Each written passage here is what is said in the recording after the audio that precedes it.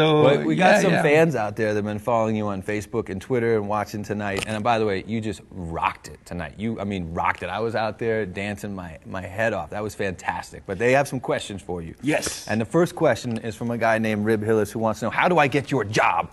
That's what I want to know. Well, it's a long process. You Yeah. know, it, it um, didn't happen in one day. I've been doing this for more than 20 years, and Yep. and you know, finally it's crossing over. I'm really happy. I'm happy for me, but for the whole community. You know, really, and. Um, after the success of I Got a Feeling and, and Sexy Chick and When Love Takes Over, you know, I get a lot of really big hip hop and pop American artists calling me to produce.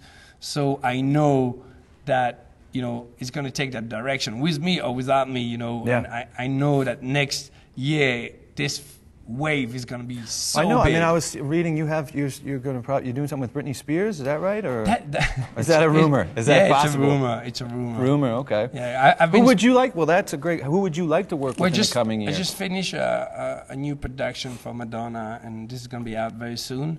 And Had you worked with her before? Uh, no, no, no. And, How's that and, possible? And we met for the first time not a long time ago. I was really like, Right. it's funny because not many people can do that to me. You know, after the meeting, I was like, oh my God, that was Madonna. I met Madonna. That's how you I know, was. you know That's how I I was when I was going to meet you today. Oh, come on. Well, um, listen, you got all your fans out there. Do you want to give them a little like Happy New Year?